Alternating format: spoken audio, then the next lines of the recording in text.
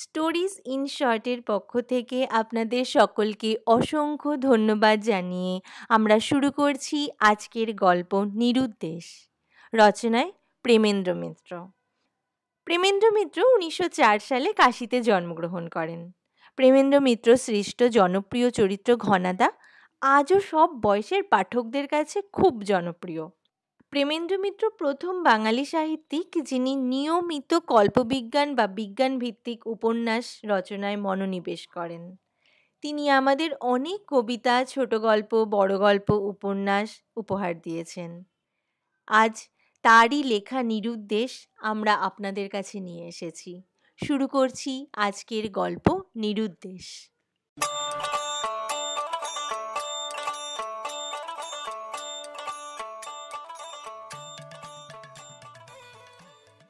দিনটা খুব বিশ্রী। শীতের দিনে বাদলার মতো অস্বস্তিকর বোধ হয় আর কিছু হয় না। সোমেশ হঠাৎ না এসে পড়লে কেমন করে যে দুপুরটা কাটাতাম জানি না। কিন্তু সোমেশও আজ একটু কেমন হয়ে এসেছে। খবরের কাগজটা সোমেশের সামনে ফেলে বললাম, একটা আশ্চর্য ব্যাপার দেখেছ? আজকের কাগজে একসঙ্গে সাত সাতটা নিরুদ্দেশের বিজ্ঞাপন। সোমেশ কোনো কৌতূহল প্রকাশ করল না। বাইরের অসারতা যেন আমাদের মনের উপরেও চেপে ধরেছে। নিহাত কিছু একটা করে এই অস্বস্তিকর স্তব্ধতা ভাঙার জন্যই আরম্ভ করলাম। নিরুদ্দেশের এই বিজ্ঞাপনগুলো দেখলে হাসি পায়। অধিকাংশ ক্ষেত্রেই দেখা যায়, ছেলে হয়তো রাত করে থিয়েটার দেখে বাড়ি ফিরেছেন। খেতে বসার সময় বাবা কয়েকদিন খোঁজ করছেন, কোথায় গেলেন বাবু? তোমার গুণধর পুত্রটি? এদিকে লুকানো পুঁজি থেকে মা বিকালে ছেলের পিড়াপিড়িতে টাকা বের করে দিয়েছে। সুতরাং জেনে শুনেও তিনি মিথ্যা বলতে পারে না, চুপ করে থাকে। বাবা বলে যান, এত রাতেও বাবুর আসার সময় হলো না? আরবার তো ফেল করে মাথা কিনেছে। এবারও কি করে যে কৃতার্থ করবে বুঝতেই পারছি। পয়সাগুলো আমার খোলা কমছি কি না? তাই নবাব পুত্রের যা খুশি করে বেড়াচ্ছে। দূর করে দেব, এবার দূর করে দেব। এই মৌখিক আস্ফালনেই হয়তো ব্যাপারটা শেষ হতে পারত।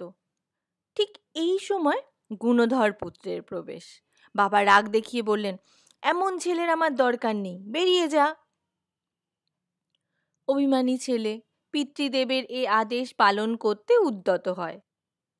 মা কাতর স্বরে বলে ওঠেন, আহা খাওয়া দাওয়ার সময় কেন এসব বলো? পরে বললেই তো হতো। বাবা আরও রেগে বলে ওঠেন তোমার আশকারাতেই তো উচ্ছন্নে গেছে। মাথা খেয়েছো তুমি আদর দিয়ে। মা চলে চোখ মোছেন। ছেলে বিশাল পৃথিবীতে নিরুদ্দেশ যাত্রায় বেরিয়ে পড়ে। তারপর সারা রাত মার কান্না, বাবার বকবকানি চলতে থাকে। মা ধরা গলায় বলে, এই দারুণ শীতে কাল সারা রাত কোথায় রইল কে জানে? কি করে বসে এই আমার ভয়? হ্যাঁ ভয়। বাবা ব্যঙ্গ করে কথাটা উড়িয়ে দিতে চান। তোমার ছেলে কিছু করেনি গো, কিছু করেনি। দিব্যি আছে কোনো বন্ধুর বাড়ি। অসুবিধা হলেই এসে দেখা দেবে। কিন্তু ছেলের কোনো খবর নেই। মার অবস্থা গুরুতর। তিনি শয্যা থেকে উঠবেন না, পণ করেছেন। বাবা এই অশান্তির থেকে বেরোনোর জন্য খবরের কাগজের অফিসে যায়। আবার খবরের কাগজের ব্যাপারটা বড় জটিল। কোন দিকে কি করতে হয় কিছু বোঝা যায় না। খানিক এদিক ওদিক ঘুরে বাবা একদিকের অফিস ঘরে ঢুকে পড়ে এক নিরীহ চেহারার ভদ্রলোককে বেছে নিয়ে সাহস করে জিজ্ঞাসা করেন, আপনাদের কাগজে একটা খবর বের করতে চাই। নিরীহ চেহারার লোকটা হঠাৎ মুখ তুলে ব্যঙ্গের স্বরে বলে ওঠেন, খবর? কেন? আমাদের খবরগুলো পছন্দ হচ্ছে না। আমরা কি এতদিন রামযাত্রা বের করছি? বাবা তখন লোকটাকে বুঝিয়ে বলে, সে আসলে একটা বিজ্ঞাপন দিতে চায়। বাড়ি থেকে ছেলে চলে গেছে। তার কথা শেষ হতে না হতেই লোকটি বলে, ও, বুঝেছি। নিরুদ্দেশ? কি দেবেন? চেহারার বর্ণনা না ফিরে আসার অনুরোধ? বাবা এতক্ষণে একটু কুল পেয়ে বললেন, ফিরে আসার অনুরোধ। ওর মা বড় কান্নাকাটি করছে। ভদ্রলোক খুব আবেগের সঙ্গে বিজ্ঞাপন ছাপবে আশ্বস্ত করল। বাবা ঘরে ফিরে আসলো। কিন্তু অশ্রুজল বিজ্ঞাপন বার হবার আগেই দেখেন ঘরের ছেলে ঘরে এসে হাজির। ছেলে মোটেই অনুতপ্ত হয়ে আসেনি। সে জানায় সে কতগুলো বই নিতে বাড়ি এসেছে। সেই দেখে মা ছেলেকে খুব বকতে থাকে। আর অদ্ভুত ব্যাপার, বাবা এবার মাকে বলে, আহ, বকাবকি কেন? অধিকাংশ নিরুদ্দেশের বিজ্ঞাপনের ইতিহাস এই। সোমেশের সিগারেটটা তখন শেষ হয়েছে। এতক্ষণ ধরে আমার কথা সে মোটেই শুনছিল বলে আমার মনে হয় না। আমি বিরক্ত হয়ে বললাম, কি ব্যাপার কি? কি হয়েছে?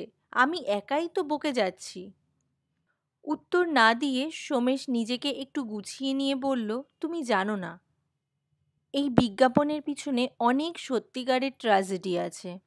আমি উৎসুকভাবে তার দিকে তাকালাম। তার মানে? সে বলল, শোনো বলছি। বাইরে এতক্ষণে বৃষ্টি আবার শুরু হয়েছে। জালনা দিয়ে বাইরের রাস্তাঘাট ঝাপসা অবাস্তব দেখাচ্ছে। মনে হচ্ছে আমরা যেন সমস্ত পৃথিবী থেকে বিচ্ছিন্ন হয়ে গেছি। সে বলতে শুরু করল, পুরনো খবরের কাগজের ফাইল উল্টে দেখলে দেখবে, বহু বছর আগে এখানকার একটা প্রধান সংবাদপত্রে একটা নিরুদ্দেশের বিজ্ঞাপন ধারাবাহিকভাবে বেরিয়েছিল। প্রথমে দেখা যায় মায়ের কাতর অনুরোধ ছেলের প্রতি ফিরে আসার জন্য।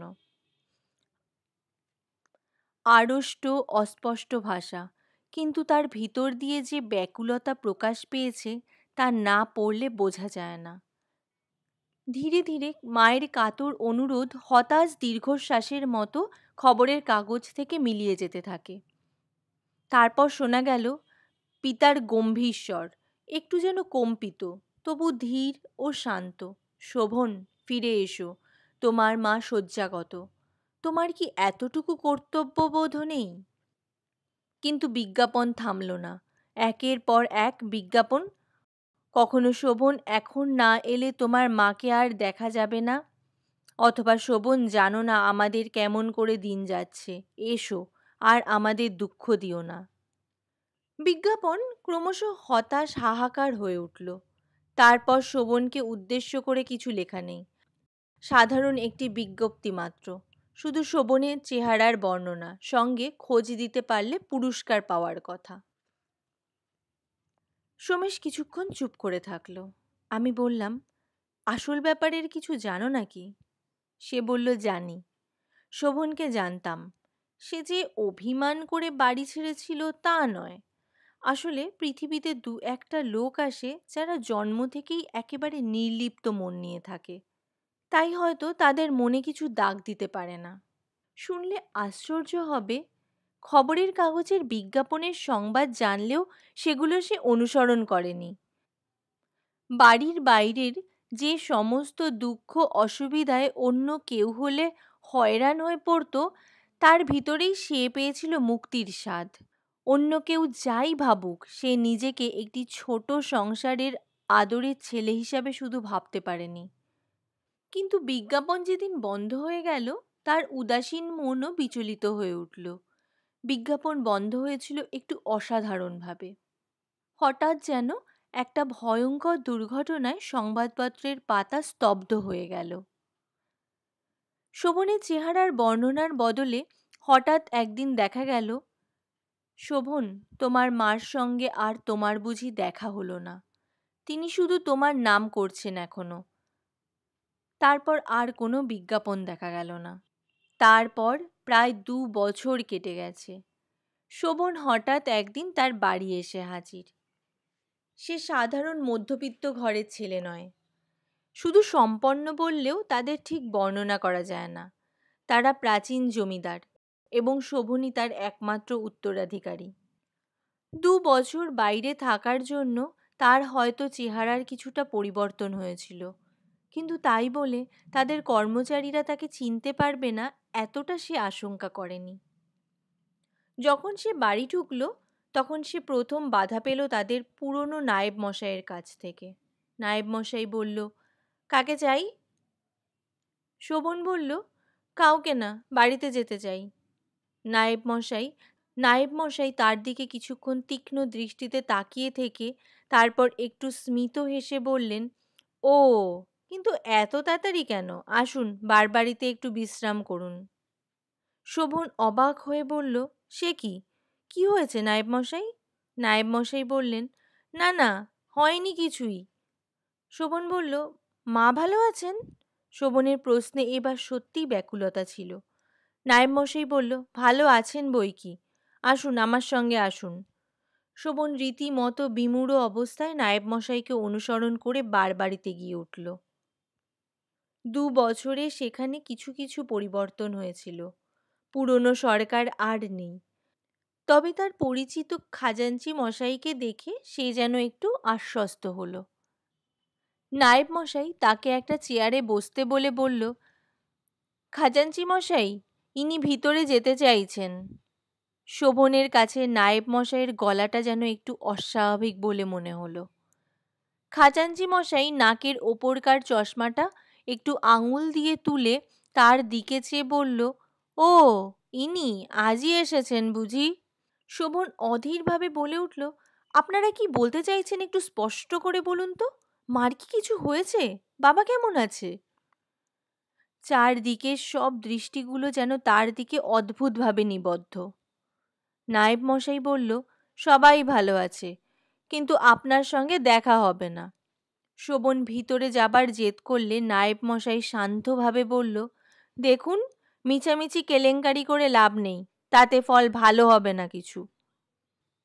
তারপর শোভন যখন বলে, আপনারা কি আমাকে চিনতে পারছেন না? তখন নায়েব বলে, কিছু মনে করবেন না। আপনার সঙ্গে শোভনের কিছু মিল আছে সত্যি। এর আগেও দুজনের সঙ্গে ছিল, জরুল পর্যন্ত। আমাদের এ নিয়ে গোলমাল করতে মানা আছে। আমরা এ নিয়ে হাঙ্গামা করব না, আপনি এখান থেকে চলে যেতে পারেন। শোভন উদ্ভ্রান্তের মতো সকলের দিকে তাকালো, দেখল সকলের চোখে অবিশ্বাস। কাতরভাবে বলল, আমাকে একবার দেখা করতে দিন।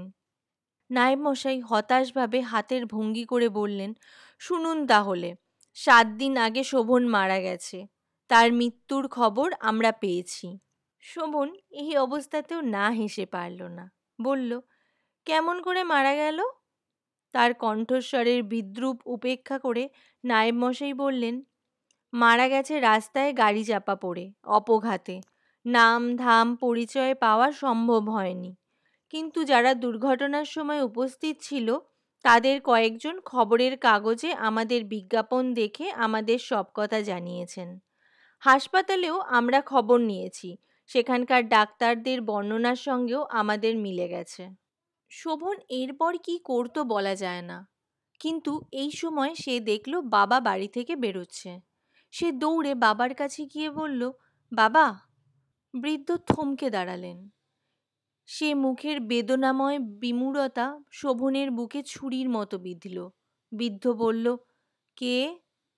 এমন সময় নায়েব মশাই শোভনের কাঁধে দৃঢ়ভাবে হাত রেখে বলল, না, কেউ না, সেবারের মতো, এই নিয়ে তিনবার হলো। বৃদ্ধ বলল, কিছু বলো না, চলে যেতে দাও। বৃদ্ধ শেষবার শোভনের দিকে কাতরভাবে চেয়ে আবার ঘরের দিকে ফিরলেন। শোভন স্তব্ধ হয়ে গেল। চারপাশে কি হচ্ছে তার কিছুই যেন তার কানে যাচ্ছিল না। কেমন একটা আচ্ছন্ন ভাব। আচ্ছন্নতা কাটল খানিক বাদে। নায়েব মশাই তার হাতে অনেকগুলো টাকার নোট দিয়ে মিনতি করে বলল, বাড়ির কর্তী মুমূর্ষ। ছেলের মৃত্যু সংবাদ তাকে জানানো হয়নি। এখনও তিনি তার ছেলেকে দেখার আশা রাখেন। শোভনকে তার হারানো ছেলে হয়ে একবার দেখা দিতে হবে। সোমেশ চুপ করল। খানিক্ষণ বাইরের বৃষ্টির শব্দ ছাড়া আর কোনো শব্দ নেই। আমি অবশেষে বললাম, সোমেশ, তোমার কানের কাছে একটা জরুল আছে।